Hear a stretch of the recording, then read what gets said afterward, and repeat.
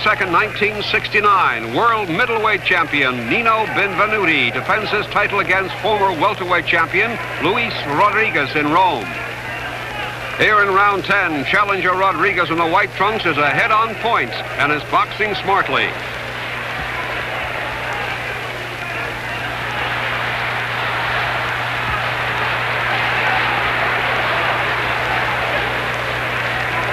Champion Benvenuti in blue won the middleweight title in 1967, just two years before from the great Emile Griffith. Nino lost the crown seven months later to Griffith and then regained it in their third bout.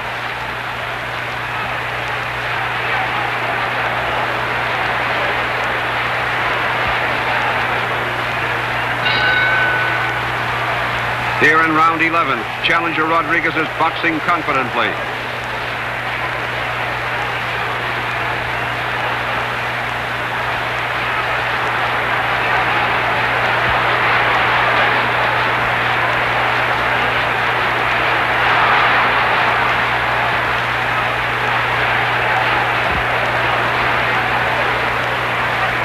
Rodriguez won the welterweight championship from Emile Griffith early in Griffith's career in March of 1963.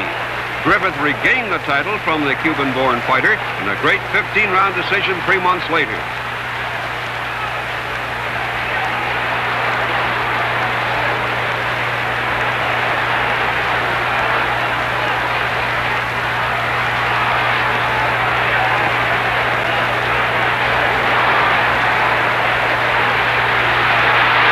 Tremendous left hook sends Rodriguez sprawling. The referee yells out the count, but the challenger is out cold.